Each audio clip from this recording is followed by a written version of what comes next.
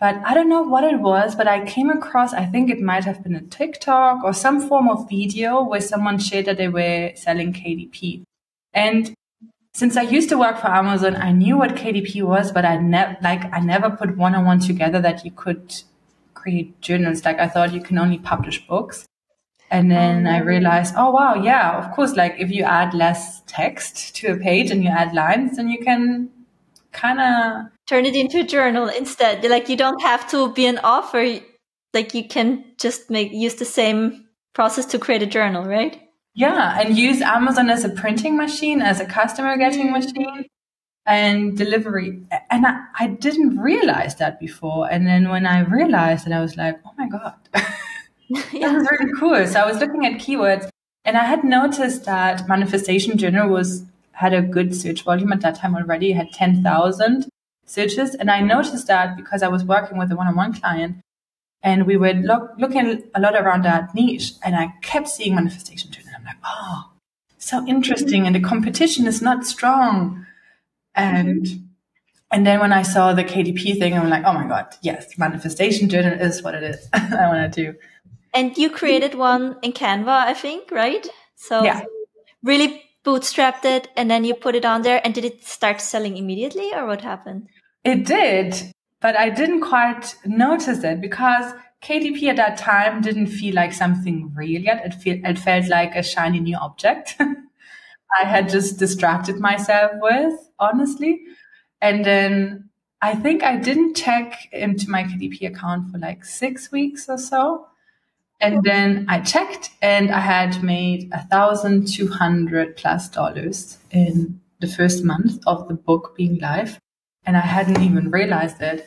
And at that moment, I was like, oh my God, this is a really cool thing. Like, I need to do this. And that was the first time that I really seriously pursued it yeah and i shared about it in the facebook group as well like oh my goodness this is what happened and then a lot of people had interest and when you say you made thousands, i think that works a little bit differently with kdp so we can also explain that because i think on kdp what you get is not like sales that's actually the royalties you get like it's almost pure profit is that right exactly it was 100% pure profit i had no ads i had nothing i only had uploaded it and then forgot about it that's so cool. And then I checked back. Yeah, I think it was it was a little bit of. It's not common for that to happen. I really have to say this. It's not common. Um, it was a mix of having the right niche. I had a cover that I think for that time was attractive. And I didn't have a lot of competitors. So it was a perfect mixture there that allowed that to happen. You know, I, I always believe that the more we do, the luckier we get. Mm-hmm. But it's a certain type of people that does so much and that tries so much. What would you think? Have you always been that type of person? So ha- have you always been this hungry? And what came first, like the hunger for personal development, or did you always want to grow in business? Oh, that's a good question. I think my first hunger was just for life. And that sounds so strange, but I really wanted to experience a lot of things very early on. So initially we had nothing to do with business or money because I had a very different opinion at that time. I, I saw myself more as a hippie. And it was traveling. So I, for me, the hunger came through traveling very early in my childhood. And then when I was 17, I went to Transylvania for a month. And then with 19, I left Germany to Australia and I spent eight years abroad. So I did a lot of like backpacking, traveling through India alone. And I think this developed a strong want to create a big business because in order to live my life fully, I need to have money. And in order to have a lot of money, I need to have a business. That was what I thought because I, I skipped university to continue my travels because I felt like that was the biggest, bigger university for me. And I think it really taught me a lot because I had to become extremely resourceful, um, doing it on a small budget and mostly alone. So I think that was a training that I didn't realize was very useful later on. So it was more about being able to collect experience rather than, you know, growth oriented. But I feel like I associate you a lot. So when did this, the, when did the growth come in? Was it almost like a necessity to be able to grow the business? I think it came before because I, uh, I, I felt like I always had a, a strong growth mindset. Mm-hmm even before my travels, I was very ambitious. Just I was ambitious for other things at that time. And I want to realize how can I make those dreams possible? And I didn't know that creating a business was going to be something that I would be so passionate about. I hadn't had any experience with it just yet, but I was very hungry for life already. And I was reading self development books very early. And yeah, I think that was something that has been around since I was a child. Absolutely makes sense. There's so many questions I want to ask you. Like, for example, you are a business owner that actually makes the majority of their income from what they actually do. And then a side of it is coaching, right? Can you maybe share how much of the monthly revenue is roughly from Amazon? How much is from coaching? and why, and this is the question I always get, if you're making that, why are you sharing the secret in coaching, right? If you have, if you have the majority of the income on Amazon, why even bother coaching? Uh, I get this question. So I, I, can briefly share. So my Amazon, uh, my coaching business is roughly at between 350 to 400, I think 400,000 it's more accurate. That's not including some of the done for you that I have done. Why do I do it still? Even though my other businesses are at more than seven figures. I think there is like something within us that we like to share when we feel like we found we found our secret key or like feeling like I have found a method that truly works that can be so transformational. And there are hundreds of niches. Like I'm not going to create a garden journal because I don't, I'm not into garden journaling. And there's, there's so many topics that I'm not interested in. Out of the topics that are available, I'm maybe interested into like five to 10 max, but there are hundreds of different topics. And I feel that journaling is getting so popular, especially guided journaling. It's, I I believe that in the next 10 years, there are going to be so many guided journals for so many topics because people have read a lot of books, but I think the benefit of having something where you're actually working through it, that is not necessarily just a workbook, but a little bit easier than a workbook. I think it's going to be a very interesting next few years. And there are even statistics that they believe the journal and diary business industry is going to grow by 30% in the next five years. So it's not just for me, but also what I've seen through Amazon. The search volumes are growing year by year. There's so many new niches that are coming up. Last year, maybe some people know that the shadow work journal went fully viral, bringing a new form of personal development on the radar of lots of people. And more and more people are looking for this type of journal for mental health or personal transformation. So I I feel like I have to share it. You have such an abundance mindset. Did you always have that or did that grow with your business and with your income? I somehow can think about competition in a different way.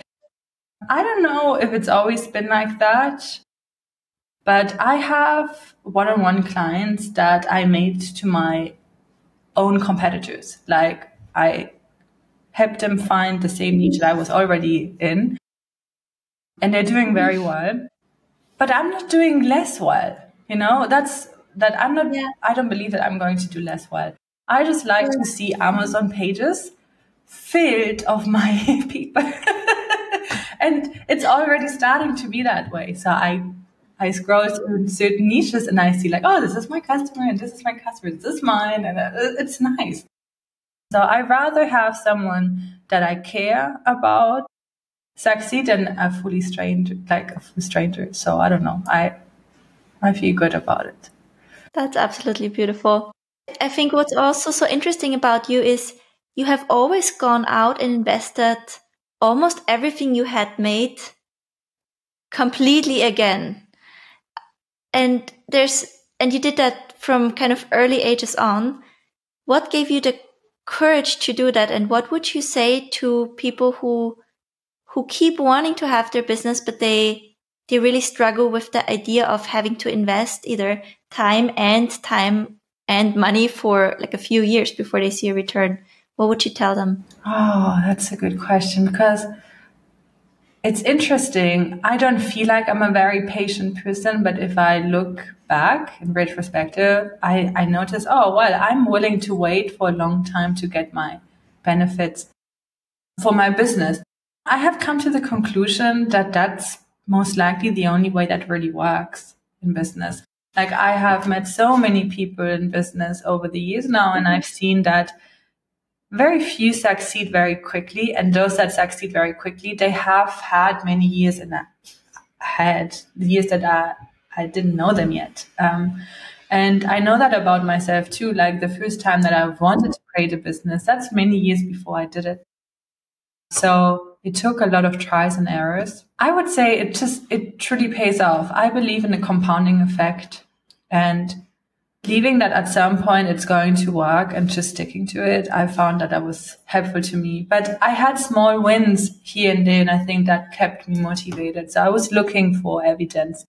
I was like stacking evidence. And if I didn't have evidence for myself, I was looking at mm-hmm. other people and using their success as evidence that this is possible. So if I saw someone else succeed, sometimes it would discourage me, but in most cases, it would be like, oh my God, if that's possible, it must be possible, then it's a numbers game. And so I just need to try and test until I get there. But it's so easy for me to say this now because at the time when things are not working out well and they have often in the past not worked out well, that's not how I felt in that moment. I, I felt discouraged, of course, but what else do you want to do? You just have to continue. I often hear you talk about the compounding effect. Um, what is so special about that for you? Why do you mm-hmm. hold that concept so near and dear to your heart? I deeply believe in it. And I believe that so many things compound. Like when I first got into wanting to start an e-commerce business and I had a failed Shopify store. Like I tried a lot of these different things, but they were all learning. So they all compounded. And I felt like there was a little message each time I did something that didn't work out.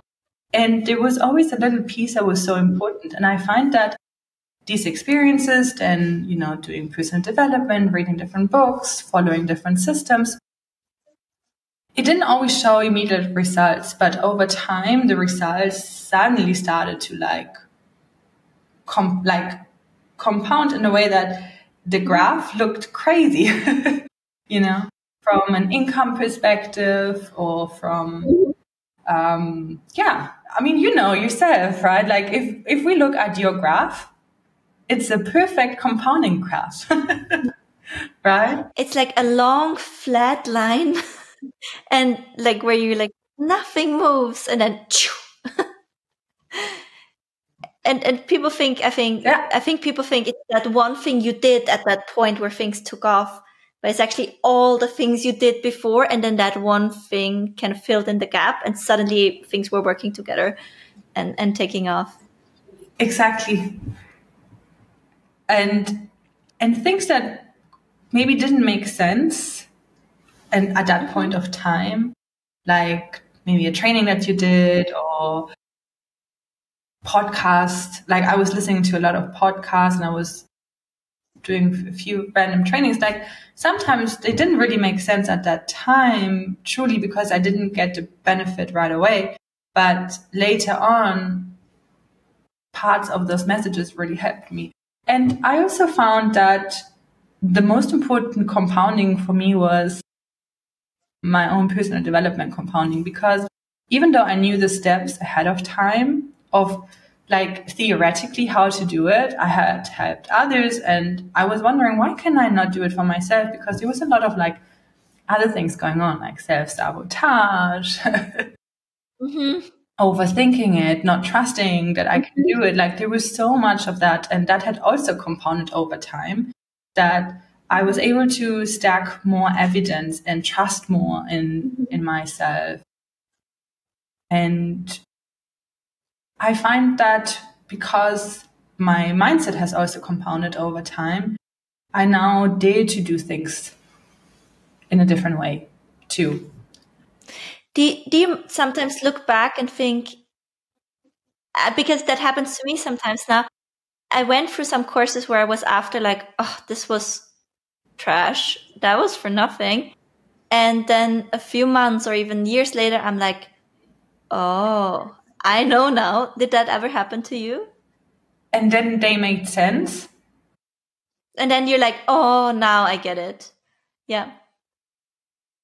Yeah, certain concepts that at that time, like, huh? And then later on, I notice a lot of the nuances. Like when you're in the beginning, I used to be so annoyed at all the nuances when people were teaching nuances. I'm like, oh, where's the meat of the, what do I need to do? Like, tell me what to do. And now the nuances make the difference. You know, it's the little shifts that make a difference. Like initially, if you would have told me about copywriting, I'm like, oh, how is that going to make a difference? like I would be like, no, that's not going to build my business. But now I see, okay, messaging, how important that is and how that can really make or break something. So yeah, a lot of like realizations in retrospective, like, okay, I wasn't ready to hear that yet at that time. How has your growth provided for others and at the same time maybe divided you from others? So when you think of your immediate family or friends over time, how has that allowed you to be better there for them? And how has it also set you apart from them? I felt that the more, like, there was a time where I was hiding my success from people I knew from before. Mm-hmm. Especially my immediate family, like my father. Because I felt like I was going to be mm-hmm. judged very harshly and that com like how do, how do they say that misery likes company or company likes i don't know like i felt like when i felt miserable it was so much easier to connect with people than when things were going well but i oh. did a lot of work around it and then realized okay that's probably a lot of judgment that i have for myself. And i got over it over time. And also what crystallized through it like my best friends, like one of my closest friends. She has been such a rock for me and she has celebrated me like no no one else. And it has created very strong bonds as well like for the ones that grew with like not necessarily did a business it like they they just felt happy where they were in their own life and they were just, you know, we are celebrating together different milestones in our lives. So that was really great. And in terms of giving back to, to family or close ones, like it was nice to be able to, to pay for a lot of things like holidays and, but mm-hmm. with close family, I think that's still a little bit of a tricky thing. Uh, I wish sometimes I that they oh, would allow me to do more, but there's a lot of I think shame that comes up. Mm-hmm. Yeah, it is weird. I think that was for me personally also something I was looking forward to that to be able to give more, just to realize like people don't want to get more, so and oh. yeah, it's a weird. I think a weird feeling. I felt like people didn't want to be more like I felt like I had to tell everyone, start your business, do this. Oh no, it's very easy. You can do this, this and that. And and people didn't want to hear it. like people didn't want to hear that they could, like if they, if they were struggling with something, I was like, wow, here's a solution, do this. and no one liked that. And I was so disappointed. I'm like, why? Like, you know, you could really make life so much easier. Like you're suffering for nothing. but mm, you know, and I, I at some point stopped because it just didn't work and it made things worse. and it's so funny because you're like, why do it? Don't you know? It's like the best thing. Exactly. I think that's maybe a part why you actually want to have the membership in the community so you can pass on the excitement about it. That could be that that's actually an outlet for wanting to share the breakthrough and helping others to to have the same experience. I think and so. because your immediate environment does not receive that, you actually just say, okay, then I teach it to strangers. Absolutely. You're finally able to talk to people that want to hear this. And you get to geek out mm-hmm. about the business that you love. Like, oh my God, doing this and this and that. And people want to listen to it and they want to do it. And that's very satisfying. And then seeing when they do it and then they're doing well. And then it's like, oh, I think just creating one part of my business would have me have a missing piece in the puzzle. Like for my own emotional side. Even though sometimes doing the coaching brings up a lot of insecurities and brings up a lot of like difficulties emotionally sometimes. But at the same time, I feel like this is a piece that I need. Mm-hmm. Because I know if I only focused on my e-commerce business, I would probably grow a lot faster and have much more focus. And, but at the same time, I don't mind if it takes a, a few years longer because I feel like this gives me a different sense of purpose, helping other people and seeing those people. Because on Amazon, like I might get some reviews, but I don't see the transformation. I I cannot see it, and maybe it's also like a feeling of significance. Like there's a lot of stuff that comes in, right? But it is a nice feeling to know that you had an impact on someone else's life. Mm-hmm. So beautiful. Such a beautiful motivation. And I think it it's that social component. And it's also when you teach others, you actually find out things that then later help yourself as well. So you kind of in reverse also become a lot better at what you do because you have to figure it out time and time and time again. So you start to see patterns. Does that happen for you too? Yes. Yeah, absolutely. I think I learn so much more by teaching others than doing it myself often. Because uh, I have a different standard when I talk to others than I have for myself. so um, it, I think it truly also played a role in my Amazon business. Uh, so, what advice would you give a person listening who's starting from scratch or wants to accelerate the journey? What would you recommend to someone who is in one of those hopeless moments and thinks about, you know, throwing everything mm-hmm. away, but also can't stop.